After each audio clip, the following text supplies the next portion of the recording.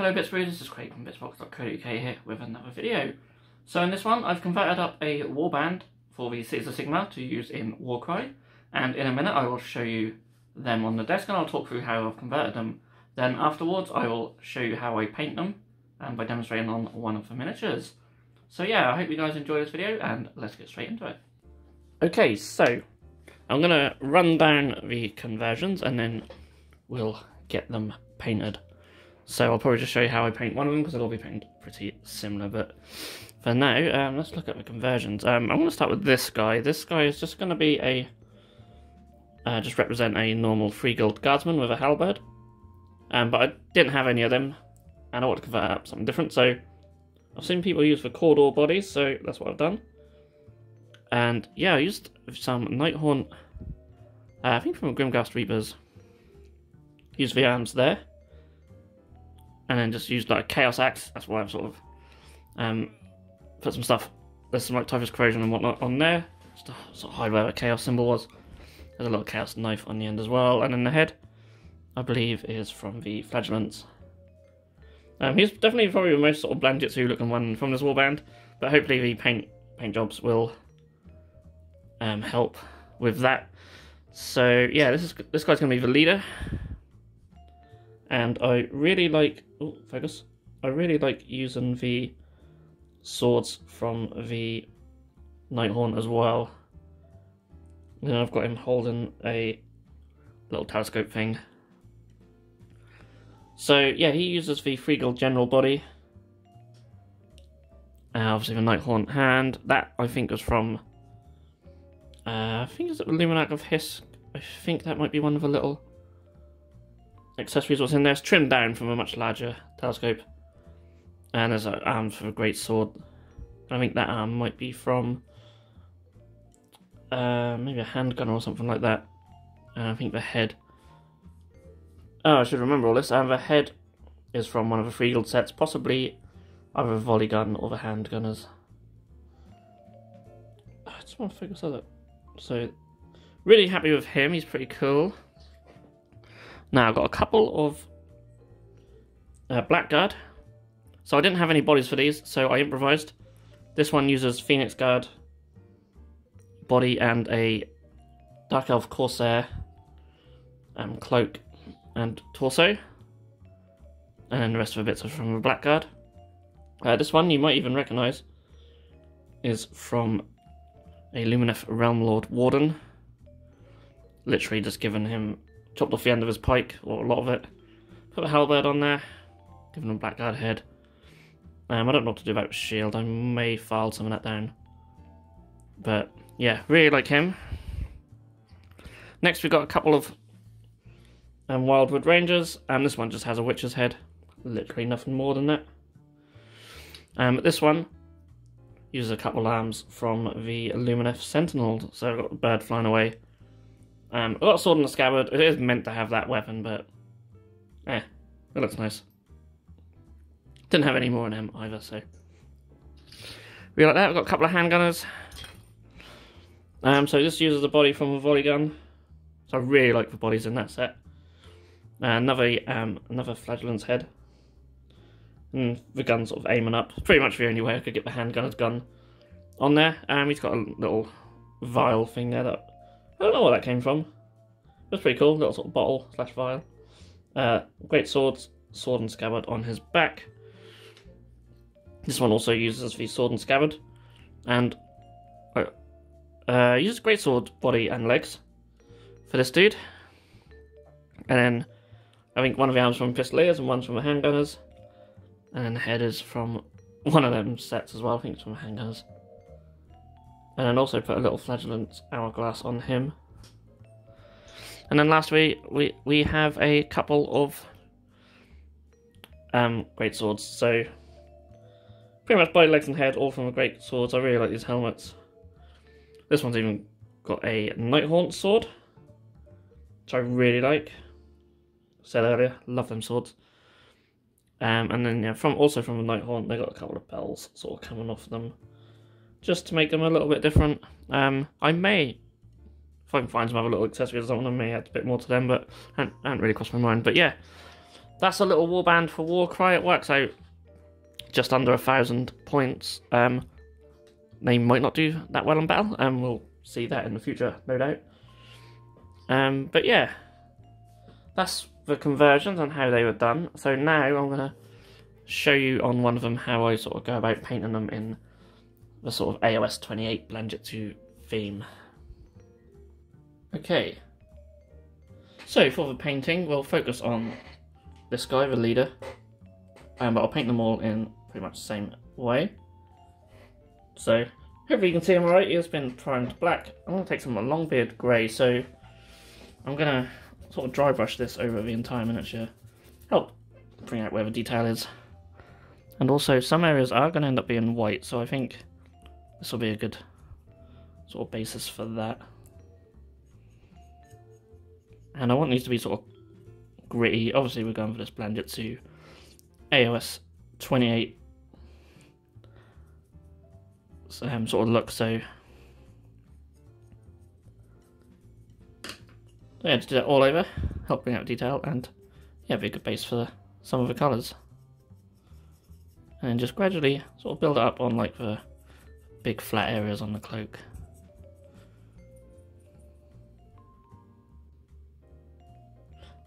Next up, I'll take some ceramite white.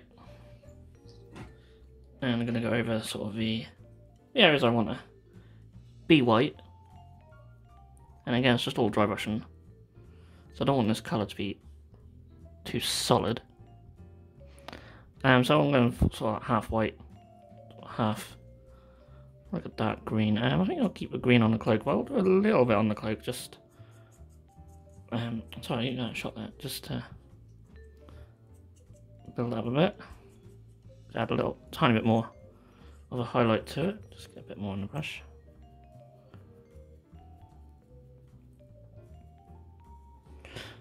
Now some areas are a little bit harder to reach, but we'll, we'll go in with a smaller brush on them later on. Right now I'm just going to focus on the clothes. So I think, yeah, this sleeve here will be more of a white. So I'll build up a couple of layers, dry brushing of that. Not say I don't want a solid area, but I want it to be sort of lighter and some, a bit darker in the others. And you sort of see we're sort of getting that now where it's sort of lighter here, sort of darker more underneath. I just want to build up just a little bit more on the top. So, next up, I'm going to paint the green areas. And I'm going to try using some Creed camo for this. Slightly smaller brush actually. So, I didn't want like a green that's really going to be too bright, of course. And contrast paints are good good for this because you can always build them up to however light or how dark you want and they'll show them highlights through of course.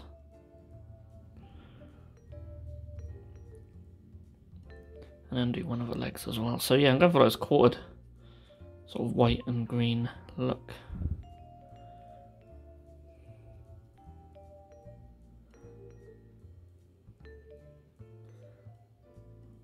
A little bit on the arm. And then also want to do the cloak as well. You see where I've built up the white there, so just as long as you spread the contrast paint out quite evenly, you can always build another coat on if you so wish, but I'll see how it looks when it dries. But you can see already it gives us a really nice sort of muted colour which I think will work very well for this type of style that I want to go for. Even though we've got a nice sort of colour in the green, it's still going to appear sort of fairly, fairly muted, which, yeah, should hopefully work quite well. So also forgot to say in that last clip, um, something probably quite obvious is that I end up taking the hand off. Uh, it's just getting in the way of the torso.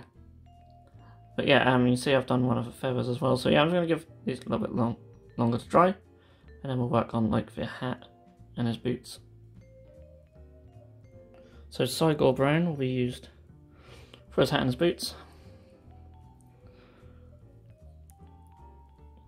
This is a nice dark brown. And yeah, I could have done his hat green, but I want to have one of the feathers green, so I thought that'd be a bit too much. But I think it'll look okay.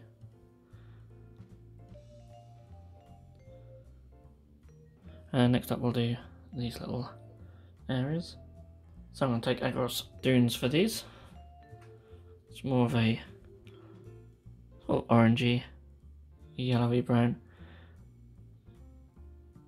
So I just want one that looks different from the other areas. It work really well for all this rope. He's got some on his back and just at the bottom of his armour there as well. So I quite like that colour. So I added some uh, to his little telescope thing as well and a little skull on his hat. So you can see he's come along quite nicely now. I'm going to take some uh, Gryph Charge up Grey just for his beard. So I like that it's got this little sort of um, bluey tint to it. Maybe not ultra realistic for a beard, but it's quite nice.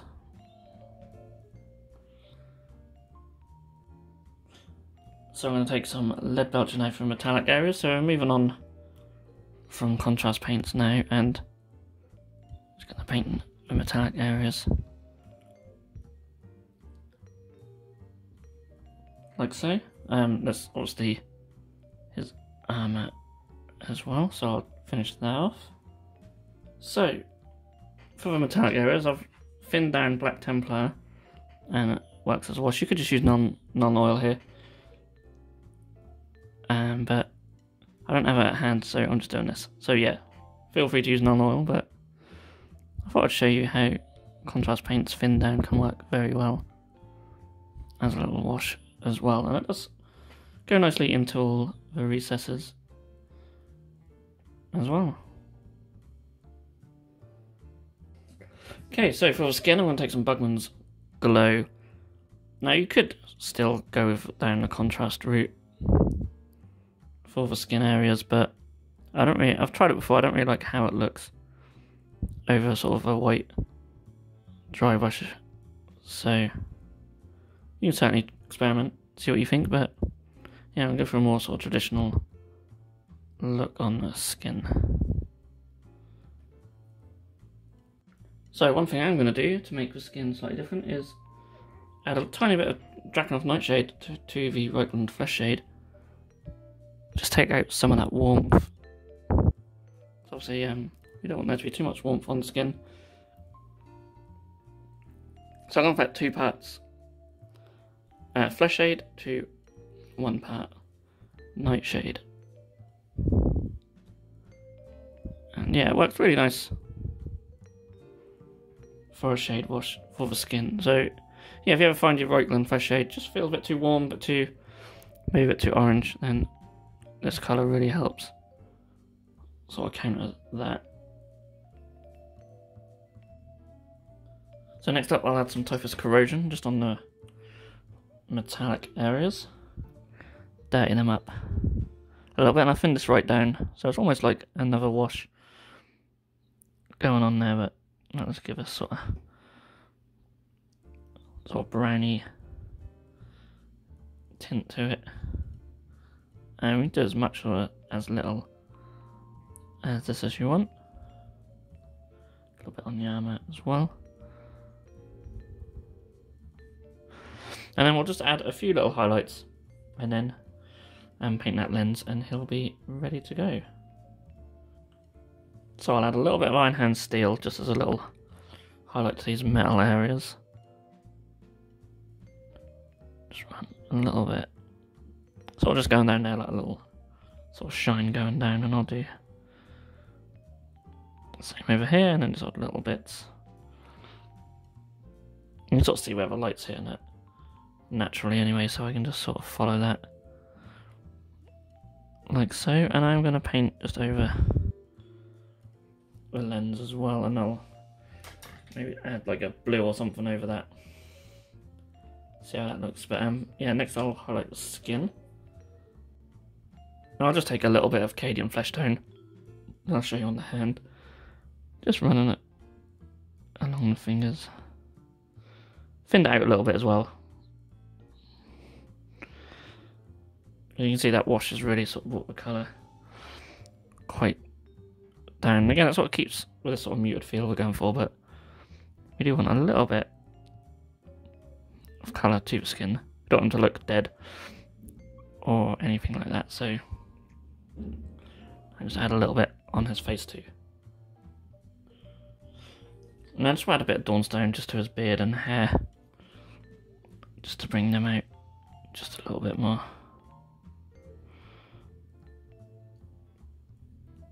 And yeah, that's about it for highlights really. You can highlight the green and the white in the other areas if you so wish, but I don't want them to be too bright. And they, the contrasts do leave a little bit of a natural highlight anyway, so I'm quite happy with how they are looking. Um, so yeah, so it's a case of painting that lens. And yeah, I said that dark blue, so maybe... Uh, I need to buy darkness to be quite nice. I don't want this to be like a super bright reflective lens either, so yeah, a little bit of by Darkness.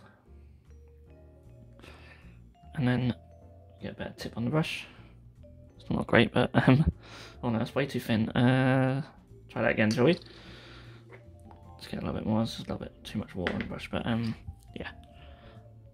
Take two, eh? And yeah, just go over that with like so. And then once that's dried, I'll just find a slightly lighter colour, have a little bit sort of reflection. Again, you can see where sort of light hits it, so we something there. But yeah, that works really well, sort of like dark, sort of greeny blue. It's quite nice. Um, I didn't want to have like another colour like red or something like that. Um, so I want this to be very sort of limited palette and muted, and I think it works well for the theme. And yeah, it's got a paint skull on the base too, which um, I'll do off camera when I base for miniature. So I think a bit, little bit of Thousand Sons blue to add a, a little highlight. It's still slightly wet, I think, which is what I want because I want to sort of just blend it in a little bit, like so. Oh, well, you can see that on the camera, but it's a bit lighter up top there. Yeah, so I'll get him based, and yeah, I'll show you the warband. And here we have the completed warband all together. So yeah, painted all in the, exactly the same way as the miniature you've just seen. And I'm really happy with how they came out. The base is sort of pretty simple. Just used some of the Stirland Mud uh, te technical texture paint. If you enjoyed this video then please feel free to subscribe to our channel if you haven't done so already. You can also click that bell icon to be notified when a new video has gone live on this channel. On the screen now are two more videos that you may wish to check out, and a link to our Patreon page also. Thank you so much for watching, and we'll see you again soon.